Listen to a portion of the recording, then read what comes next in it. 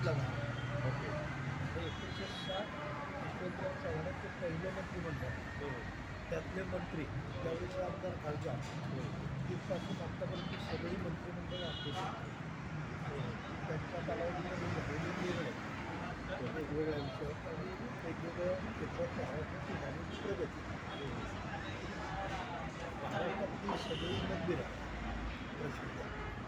दर्गे हे। सर्व धर्मीय धर्मस्थळं जी प्रसिद्ध आहेत ती महाराष्ट्रभर बघून आपल्याला शक्य नव्हतं आपण जरी ठरवलं तरी बघायचं तरी शक्य नाही. तरी हे एक अर्धा दिवसामध्ये सर्व एका ठिकाणी बघतात. जिल्हा वाईज. त्याच्यामध्ये तिथं इतिहास वाचायला आपण रायगडावर गेलो.